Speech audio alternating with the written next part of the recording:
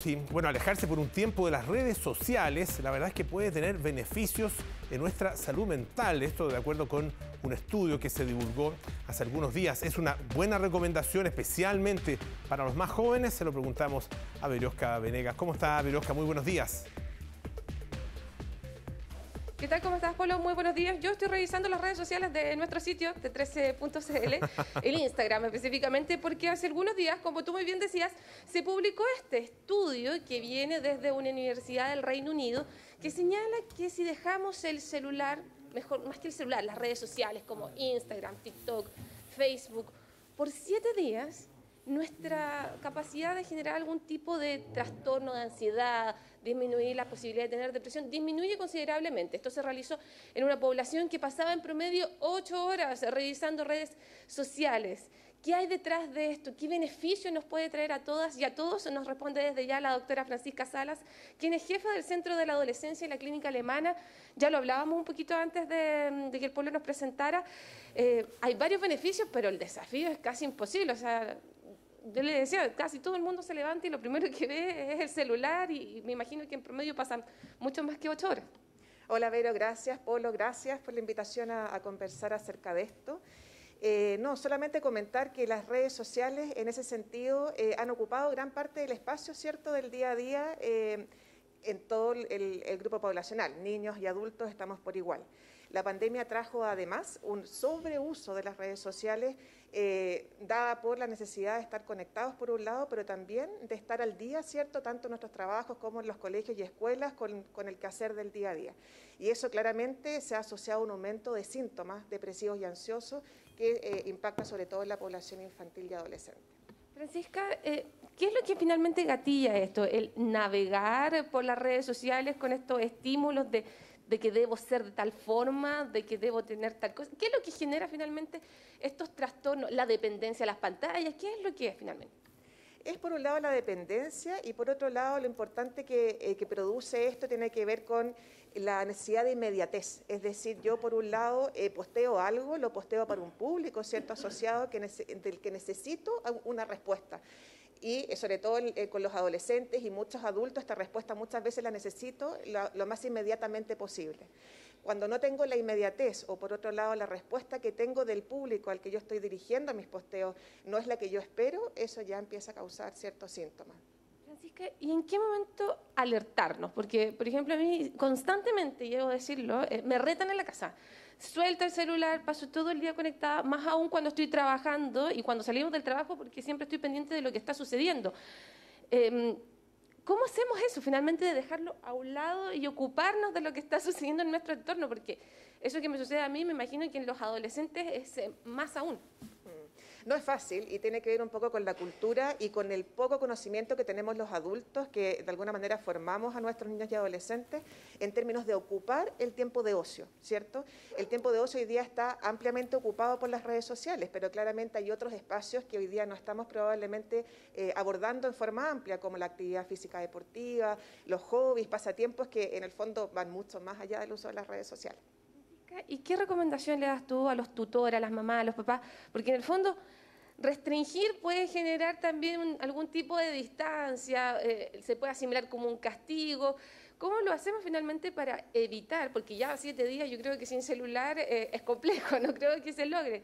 Eh, pero, pero, ¿qué es lo que se puede hacer para disminuir estas ocho horas promedio que leía en el estudio que están utilizando los adolescentes del teléfono?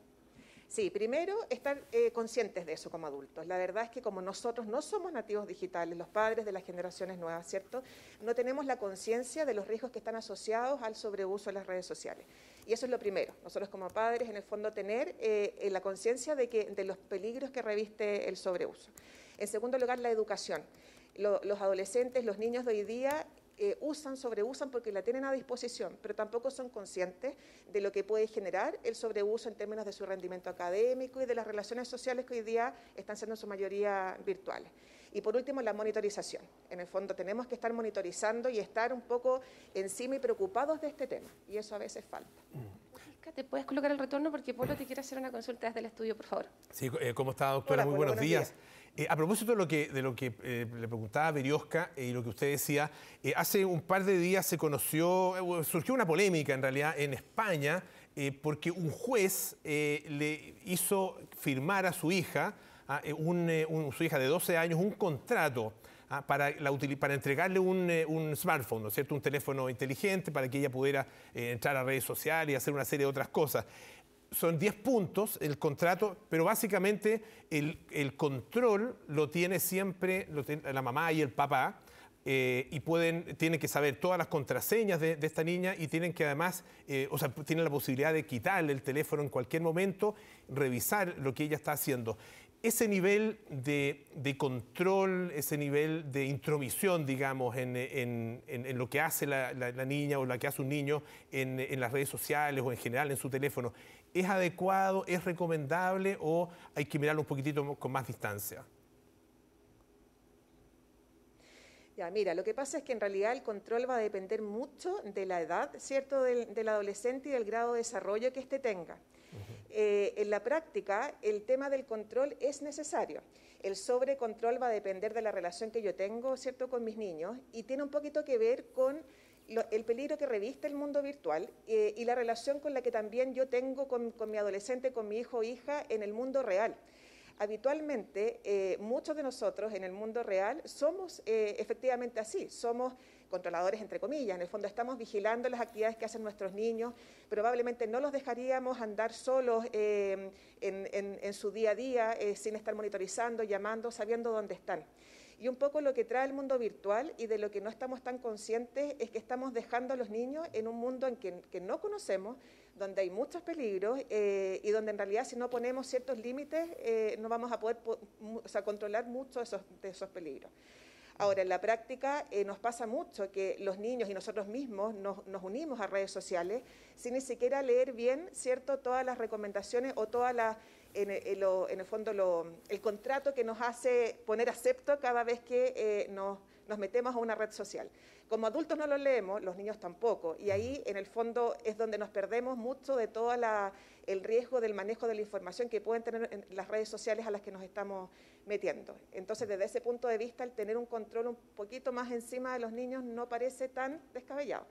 Pero va a depender mucho, como te explicaba al comienzo, eh, un poco de la edad y también del nivel de autonomía que tenga mi hijo o hija y en relación a ese control, a esos límites, en términos prácticos, ¿qué le recomiendas tú, no sé, a una mamá, papá de un chico de entre 10 y 14 años, edad compleja, donde ya imagino que van con el celular? En lo práctico, ¿qué le recomendarías tú para que finalmente no se genere esta rencilla, esto te estás metiendo en mi privacidad, estás pasando mis límites, mamá o papá?